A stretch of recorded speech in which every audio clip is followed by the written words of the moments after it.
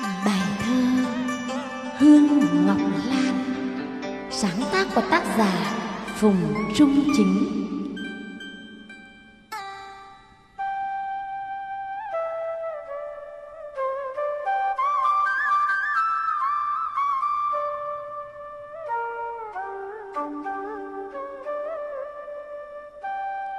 Ngọc Lan thoang thoảng hương.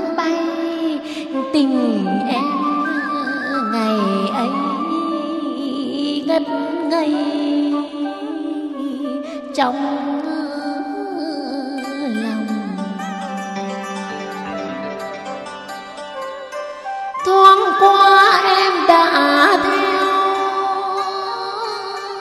chồng, để anh ở lại cô phòng.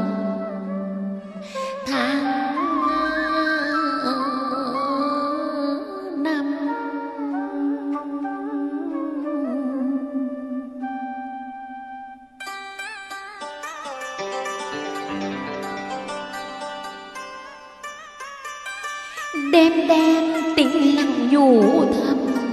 Mùi hương da thịt khi nằm kề bên. Suốt đời anh cố để quên mùi hương hoa ấy.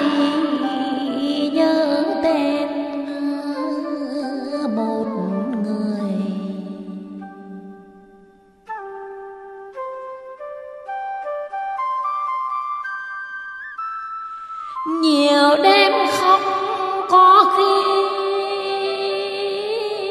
cười. Ngọc lam em ơi, xinh tươi tuyệt trần.